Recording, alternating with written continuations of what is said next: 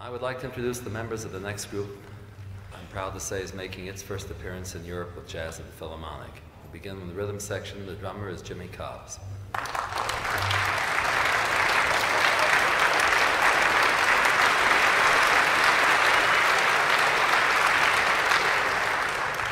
The bassist is Paul Chambers.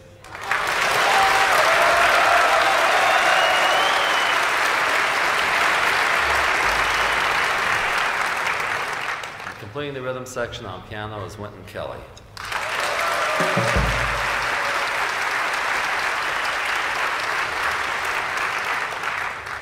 On tenor saxophone, John Coltrane. Miles Davis on trumpet.